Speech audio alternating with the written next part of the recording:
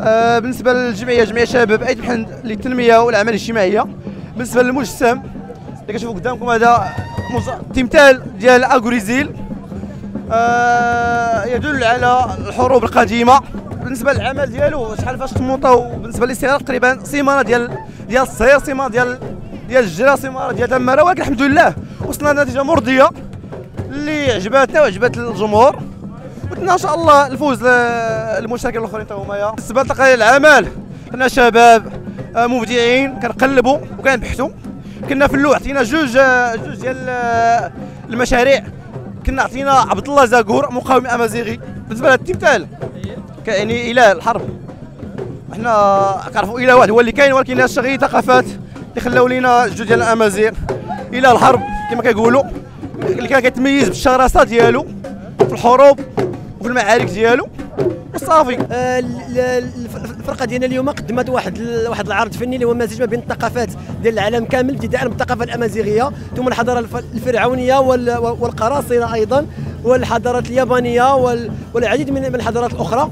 وخدمنا عليهم اليوم بواحد الطابع اللي هو آه، واحد الطابع اللي هو original يعني ال- الفكرة ديالنا و les costumes كلشي مقد عندنا حنايا في في الورشه ديالنا وكنتمنى العرض ديالنا يكون عجبكم اليوم ومرحبا بكم جينا اليوم باش نشاركوا في الكرنفال الدولي آه، اكادير النسخة الثانية والثانية وحنا اللي توجنا بالنسخة الأولى كأحسن مجموعة كرنفالية وكلنا عزم هذه السنة أننا نتوجوا بالنسخة الثانية ونحافظوا على اللقب وشاركنا اليوم بالمسيرة الخضراء وكذلك المقاومة المغربية وكذلك شدنا مجسم ديال الخريطة المغربية آه، باش نوجهوا واحد الرسالة لأعضاء. آه، الوطن أن الصحراء في مغربها آه، والمغرب في صحرائه وكذلك آه، جسدنا آه، المعصره التقليديه ديال الزيتون بكل مراحلها. وكذلك آه، مجموعة من اللوحات التراثيه الفلكلوريه الأمازيغية. وهذا اللباس آه، هي بحال آه، أننا نمجدوا القوات الخاصة المغربية اللي كتصر على حماية الوطن. آه، صراحة خدا منا وقت كبير أننا كنخدموا تال تال جوج الليل كاين واحد الاخ اللي كيخيط لينا كيخدم حتى ثلاثة الصباح. يعني أخذت منا عناء كبير و- وضيق الوقت. وتلاقى مع العيد الكبير. يعني عانينا كثير باش أننا نوجدوا هذه المجسمات بجوج اللي آه، اللي كياخذوا الوقت الكثير.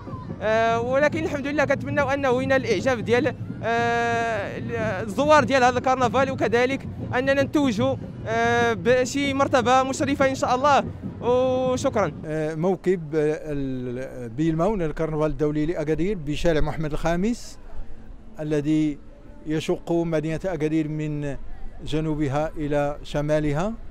آه، الانطلاقة ستكون بالمرآب تحت أرضي بشارع محمد الخامس وهو مكسب كبير. آه، سهرت على آه، تنظيمه تنظيم هذا المسار آه، لجنة آه، مكونة من أساتذة باحثين وممثلين عن المجلس الجماعي ولكن كذلك فيه آه، هواة ومتتبعون وباحثون وأساتذة مقتنعون بأهمية هذا التراث والمحافظة عليه.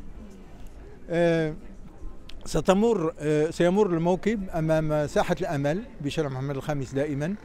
حيث الضيوف الشرف وهم كثر من السيد الوالي وكتمثيلية الم- اليونسكو. وهذه فرصة بالنسبة لنا كي نبين أن هذا التراث يستحق أن يرقى إلى العالمية.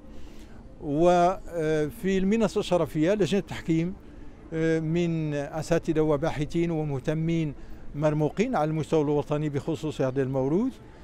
وعلى أساس أن تسند جوائز مالية قيمة للفرق ال- الم- المميزة.